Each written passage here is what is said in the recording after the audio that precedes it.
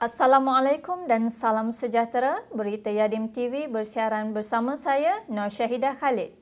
Antara paparan menarik berita Yadim TV.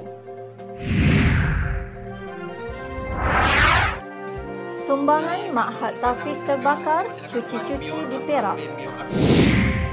100 penduduk kampung baru terima sumbangan daging korban.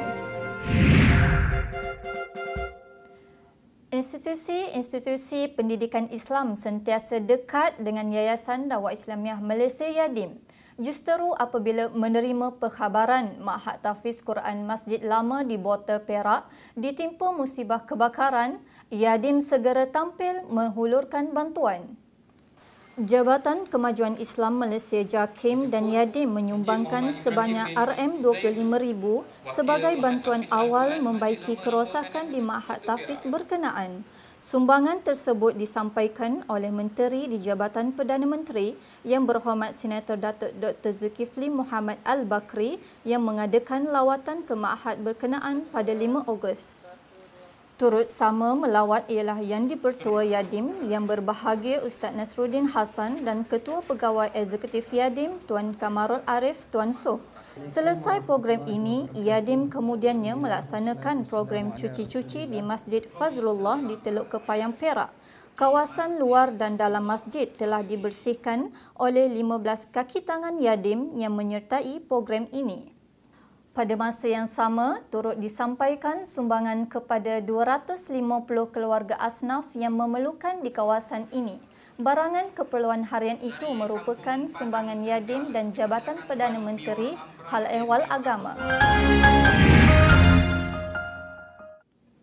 Yayasan Dakwah Islamiah Malaysia Yadim akan mengadakan pertemuan dengan seramai mungkin badan bukan kerajaan NGO Islam untuk mengajak mereka bergerak bersama di jalan dakwah.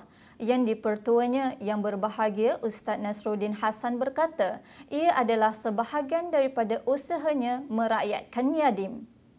Kita akan mengumpulkan NGO-NGO Islam seluruh negara dan gerakan dakwah. Yadim adalah hak semua orang, katanya semasa berucap di program Yadim Peduli, Cuci-Cuci dan Musaadah Pasca COVID-19 Terengganu pada 30 Julai lalu yang dianjurkan oleh Yadim Terengganu dengan kerjasama pejabat Ahli Dewan Undangan Negeri Manir serta Jabatan Bomba dan Penyelamat Malaysia Negeri Terengganu. Dalam pada itu, Ustaz Nasruddin juga berkata dakwah itu datang daripada semua orang dan bukannya eksklusif kepada warga agensi dakwah sahaja, selaras dengan ucapannya pada hari pertama beliau memulakan tugas di Yadim. Selesai merasmikan program ini, Menteri di Jabatan Perdana Menteri yang berhormat Senator Datuk Dr. Zulkifli Muhammad Al-Bakri menyampaikan bantuan food basket mengandungi keperluan harian kepada 200 orang asnaf yang dikenal pasti terkesan dengan penularan COVID-19. Turut hadir ialah Ketua Pegawai Eksekutif Yadim Tuan Kamaro Arif Tuan Soh serta Timbalan Exco Pertanian Industri Asas Tani dan Pembangunan Desa Terengganu merangkap Ahli Dewan Undangan Negeri Adun Manir yang berhormat Ustaz Hilmi Datuk Harun, Adun Buluh Gading yang berhormat Ustaz Rizwan Hashim serta Pengarah Yadim Terengganu Mahadi Awang. Sebanyak 14 badan bukan kerajaan dan institusi Islam menyertai Majlis Ibadah Korban Jema'i, Yayasan Dakwah Islamiah Malaysia Yadim dan NGO Islam Daerah Saratok di Masjid Al-Muhtadin di Saratok pada 1 Ogos lalu. Sebanyak 15 ekor lembu telah dikorbankan dan diagih. Korban jama'i ini melibatkan Lembaga Amanah Kebajikan Islam Saratok, Hikmah Bahagian Betong, Urustia Saudara Kita Saratok, Yayasan Ikhlas, Muslim Volunteer Malaysia, Sukarelawan Hikmah, Komuniti Bomba dan Rela. Turut serta ialah Masjid Al-Muhtadin, Surau Cahaya Islam, Surau Muafikin, Surau Silaturahim, Urustia Saudara Kita Nyabor, Urustia Saudara Kita Sesang dan Urustia Saudara Kita Kabong. Antara yang menyumbangkan haiwan berkenaan ialah Ahli Dewan Undangan Negeri Kelaka yang berhormat Datuk Abdul Wahab Aziz sebanyak 8 ekor dan Timbalan Menteri Tenaga Sumber Asli merangkap Ahli Parlimen Saratok yang berhormat Ali Biju sebanyak 3 ekor. Iadim dan Muslim Volunteers Malaysia pula menyumbang sebanyak 3 ekor manakala seekor lagi adalah sumbangan persendirian. Sebanyak 750 bungkus daging korban telah diagihkan kepada para asnaf. Datuk Abdul Wahab yang merasmikan program ini mengharapkan Yadim meneruskan program seperti ini lagi dan menyeru umat Islam di Saratok untuk memantapkan akidah Islamiah, bersatu padu dan tidak berpecah belah. Hadir sama ialah Ali Biju dan pengarah Yadim Sarawak Awandul Hadi Awamat. Selepas Saratok, Yadim Sarawak juga mengadakan program yang sama di Sibu dan Miri. Secara keseluruhan, lebih seribu bungkusan daging korban telah diagihkan. Yadim Sarawak menerusi program korban jama'i tahun ini. Pada 29 Julai lalu, Yayasan Dakwah Islamiah Malaysia Yadim Perlis telah mengadakan program ziarah dan menyantuni keluarga yang terkesan dengan penularan COVID-19 di sekitar kawasan Sanglang. Yadim Perlis diwakili oleh pengarahnya Zuri Hussein dan disertai oleh ahli pasukan sukarelawan Arah Masar Arau.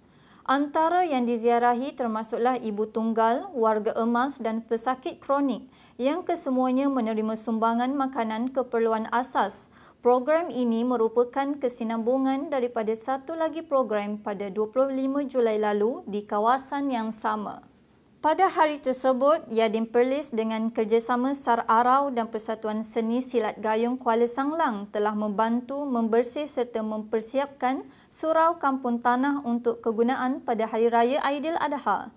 Kawasan luar dan dalam surau telah dibersihkan serta dicat semula oleh para peserta program.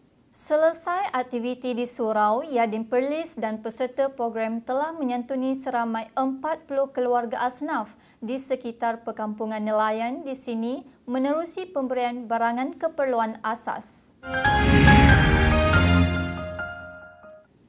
Yayasan Dakwah Islamiah Malaysia Yadim Kedah pada 26 Julai lalu telah melaksanakan program musaadah COVID-19 untuk komuniti di Sungai Petani dan kawasan sekitarnya.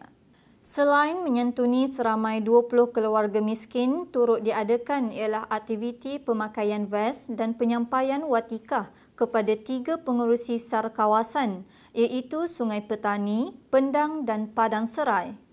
Program kemudiannya bersambung keesokannya di Kota Kuala Muda apabila Yadim Kedah dan pasukan SAR Sungai Petani menyantuni seorang warga emas yang tinggal berseorangan di Kampung Padang Binjal. Abu Bakar Ahmad berusia lewat 50-an tidak mempunyai pekerjaan tetap dan menampung kehidupan dengan menjual sayur-sayuran yang ditanam di sekitar rumahnya. Ketika sampai, peserta program mendapati kediaman Abu Bakar berada dalam keadaan daif. Atapnya sudah bocor manakala tandasnya sudah tidak dapat digunakan menyebabkan rumah itu mempunyai bau kurang menyenangkan. Prihatin dengan nasib warga emas ini, Yadim Kedah menyampaikan sumbangan berbentuk makanan dan lampin pakai buang kepada Abu Bakar mereka turut merancang untuk melakukan satu lagi kunjungan untuk bergotong royong membaiki dan membersihkan rumah tersebut. Mengambil ibrah dari pengorbanan Nabi Ibrahim dan Nabi Ismail dalam kehidupan dan misi dakwah, Yayasan Dakwah Islamiah Malaysia Yadim Kelantan dengan kerjasama beberapa badan bukan kerajaan telah mengadakan program Yadim Peduli Nahnu Ma'akum, Majlis Korban dan Sumbangan Daging Korban dan barangan keperluan asas kepada golongan asnaf, fakir dan miskin di Kampung Baru, Kota Baru, Kelantan. Ibadah korban ini diadakan dengan kerjasama Pertubuhan Kebajikan Masyarakat Prihatin Malaysia PKMP Yayasan Pembangunan Ekonomi Islam Malaysia YAPIM, Yayasan Takwa Pejabat Ahli Parlimen Kota Baru dan Gerakan Elit Bersatu Malaysia GRIM pada 1 Ogos lalu di Masjid Haji Nik Husin, Kampung Baru Jalan Kuala Kerai. Seramai 100 orang telah menerima agihan daging korban tersebut. pihak Yapim telah menyumbang seekor lembu manakala seekor lagi disumbangkan pejabat ahli parlimen Kota Baru dan Green. Selain daging korban, asnaf yang hadir juga menerima barangan keperluan asas daripada Yadim. Sumbangan kepada penerima disampaikan oleh pengarah Yadim Kelantan, Major Zaidi Abdul Halim. Hadir sama ialah penyelaras program penolong pengarah Yadim Kelantan, Yusnita Muhammad Yusof, pengerusi PKMPK Zainuddin Mat Jusoh, wakil Yapim dan pemimpin masyarakat. Sekian berita Yadim TV minggu ini. Terus ikuti kami di laman web dan Facebook Yayasan Dakwah Islamiah Malaysia Yadim. Bagi mengakhiri berita minggu ini, Yadim TV membawakan sorotan rakan siswa Yadim menyantuni asnaf di Sabah. Assalamualaikum.